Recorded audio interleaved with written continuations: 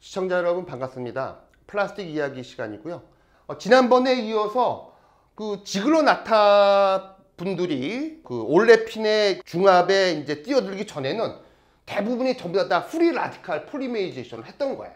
그래서 이제 대표적인 에틸렌이건 프로필렌이건 하여튼 그 올레핀의 중합은 무조건 그 프리 라디칼 폴리메이제이션을 이용했습니다.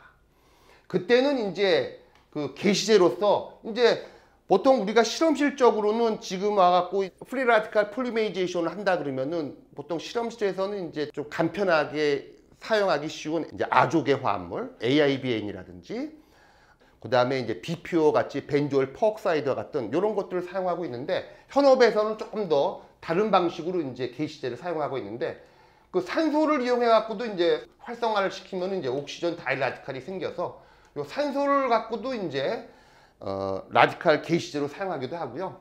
그 다음에 주로 이제 유기 가산화물 어, 그래서 이제 어, 요런 유기 가산화물을 이용해 갖고 이제 현업에서는 주로 이제 게시제로 사용해서 이제 중합을 해왔습니다.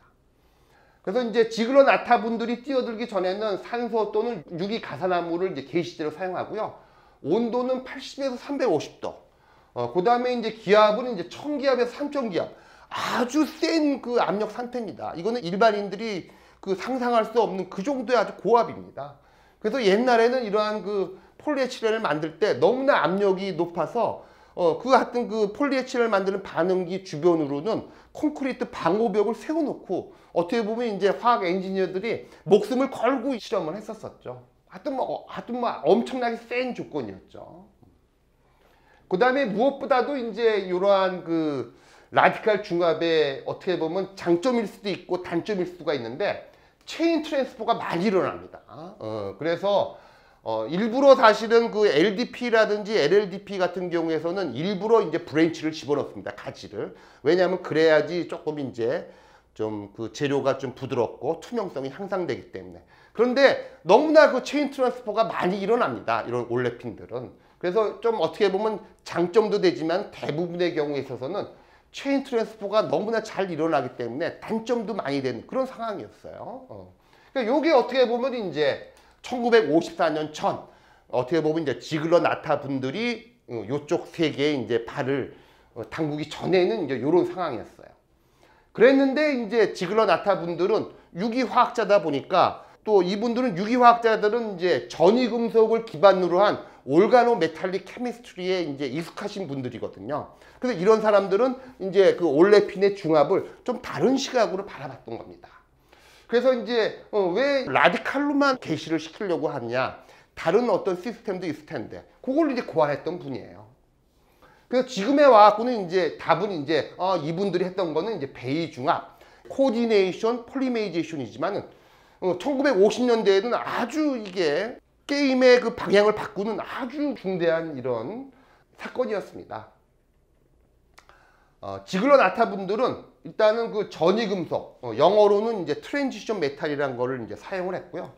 그 다음에 전이 금속은 이름 그대로 뭔가 좀 특이해요. 특히 이제 다른 그 원자들하고 달리 d 오비탈을 갖고 있는데 요 d 오비탈이 어 약간 electron이 rich한 그런 유기화학 물질하고 interaction을 할 수가 있어요. 결론은 그게 바로 이제 배위 결합이지만 그래서 그거를 이제 사용한 거예요.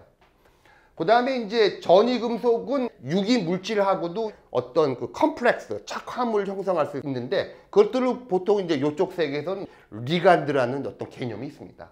그래서 요거를 우리가 전이 금속이라고 표시할 때 요 전이 금속에서는 보통 이와 같이 이제 음이온들도 이제 리간드로 작용하고 있지만 이와 같이 올레핀이라든지 일산화탄소 몇 가지 이제 질소 화합물들 이런 것들하고도 이제 complex를 형성할 수가 있어요. 그럴 때 이제 전이 금속 대비 요거는 이제 core metal 이온이 되고요. 이런 것들을 우리들은 리간드라는 개념으로 이제 설명하고 있습니다. 그래서 이제 전이 금속이라는 것은 이와 같이 어, 리간드 개념도 있고요. 그 다음에 무엇보다도 에틸렌 또는 프로필렌과 같은 이런 올레핀류하고도 리간드 효과에 의해서 coordination을 형성할 수가 있습니다. 그게 바로 우리들이 얘기하는 coordination complex. 한국말로는 이제 착화물이라는 이제 그런 개념을 이제 도입을 하신 분이에요. 어, 지글러 나타 분들이 이제 개발한 이제 촉매는 어, 보통 이제 이쪽 세계에서는 이 양반들이 그 만든 촉매는 이제 단일짜리 single site catalyst 이런 개념을 도입을 하신 분입니다. 보통 그 전이 금속에 기반한 컴플렉스 같은 경우에 보통 이제 도식적으로 설명할 때 보통 이런 식으로 많이 표시합니다. 어. 그래서 이제 보통 전이 금속 양이온을 중심으로 이와 같이 이제 리간드가 이제 포진하게 되고요.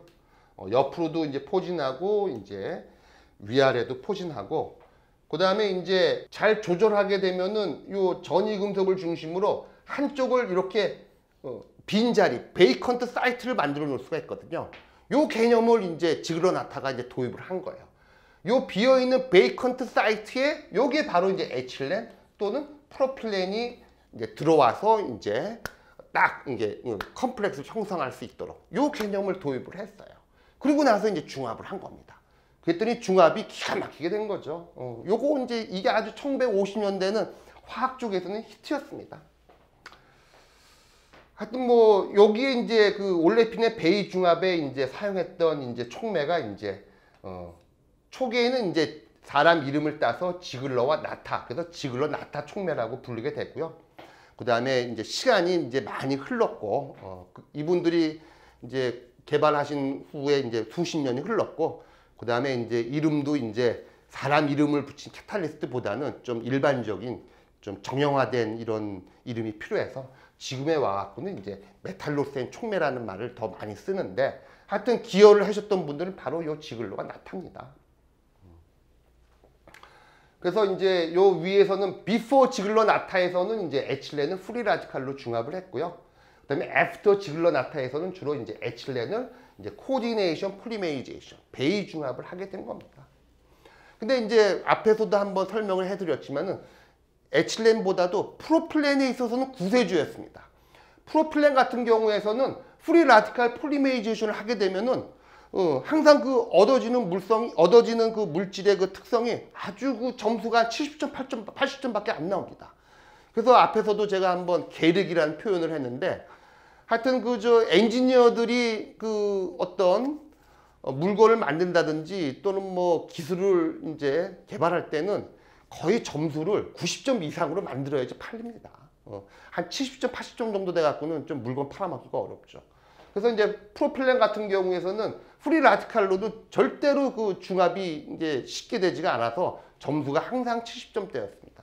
근데 이 양반들의 이러한 지글러 나타 촉매로 프로필렌의 점수를 90점 이상으로 올려서 이제 지금은 우리가 편안하게 이제 프로필렌 제품을 우리가 쓰고 있습니다. 초기에 그 지글러 나타 촉매는요. 어, titanium tetrachloride 하고요. 그 다음에 이제 triethyl aluminum의 이제 혼합 촉매를 이제 사용했습니다. 요게 이제 어떻게 보면 이제 지글러 나타 촉매, 어, 요거의 시발점이었고요. 요 촉매를 사용했더니 이제 온도도 한 100도씨 이하에서 어떻게 보면 아주 순화된 조건에서 사용했고요. 압력도 90 기압으로 이 전에는 이제 압력이 1000에서 3000 기압이었는데 아주 적절한 압력으로 이제 내리게 됐습니다. 그 다음에 무엇보다도 이러한 방식에 의한 즉 배위 중합에 의해서는 라디칼 중합에서 보였던 chain transfer가 일어나지 않는 no chain transfer. 그러니까 아, 어떻게 보면 이제 물성 조절이 아주 기가 막히게 할 수 있는 이런 기술이 이제 나온 겁니다. 그 다음에 이제 chain transfer가 없으니까 당연히 이제 branch가 없게 되고요. branch가 없다 보니까 대부분의 구조가 이제 리니어한 구조를 얻게 돼서 어 이제 라디칼 중합에 의해서도 HDPE를 만들 수가 있고 그 다음에 이제 이러한 배위 중합에 의해서도 HDPE를 만들 수가 있는데 라디칼 중합으로 HDPE를 만들면 점수가 한 80에서 85점밖에 안 나옵니다. 하지만은 어, 베이 중합에 의해서 HDP를 만들면 점수가 뭐 98점, 99점입니다. 어, 그래서 당연히 차이가 있습니다. 그 다음에 무엇보다도 에틸렌 같은 경우는 이제 상관이 없지만은 프로필렌 같은 경우에서는 입체 규칙성을 띠게 됩니다. 보통 유기화학 물질 같은 경우에서는 이제 설명할 때 오른손하고 왼손하고 요게 어떻게 보면 이제 미러 이미지고요. 하지만 오른손하고 왼손은 이게 다릅니다. 겹쳐지지도 않고요. 어, 그래서 이제 하나는 뭐 R이면 하나는 S다 그래갖고 요거를 바로 이제 스테레오 아이소모라고 합니다. 요와 같은 개념이 어, 폴리프로필에서도 우리가 얻을 수가 있었습니다. 바로 요 지글러 나타의 베이 중합 때문에.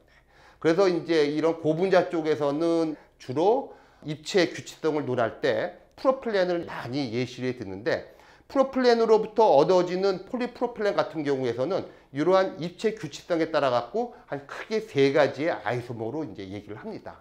그래서 그거를 우리 쪽에서 이제 tactic 구조라고 얘기해왔고요.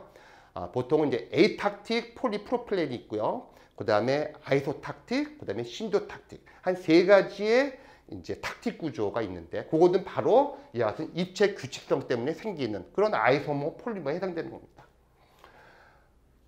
또 이제 이러한 베이 중합을 하게 되면요. 이로부터 얻어지는 이제 그 폴리올레핀은 라디칼 중합한 것보다도 높은 결정성을 갖게 되고요. 융점도 높아지고 그다음 그 다음에 이제 밀도도 높아지는 이런 효과를 얻게 됩니다. 이상.